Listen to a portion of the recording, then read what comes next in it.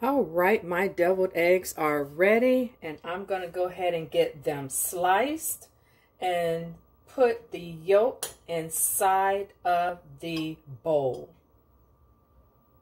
And they're easy to pop out, guys. All right, got my yolk in the bowl. I'm going to start out with a tablespoon, I'm sorry, a teaspoon of mayonnaise. You start out small and then you work your way up, family, because it, you can always add, but you can't take away.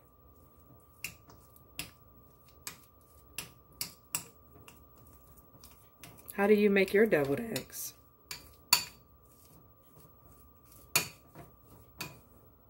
Another heaping teaspoon. Teaspoon of relish. I'm adding the other teaspoon of relish. Dash of Badia Complete seasoning. And that's about it. You know the bacon had to be in there, right, family? Yeah, you know it. Now, the only thing I probably will not be adding to this is cheese. Because I just, uh, I don't, I've never had cheese with my deviled eggs, but bacon all day long. I'm not adding real onion, but I am going to do a dash of onion powder. Dash of mustard, about that much. This is a sandwich bag and I'm just going to go ahead and put it into this glass and fold this over and put my filling inside. And that's the end, family. So now I'm going to seal the bag and cut the tip off.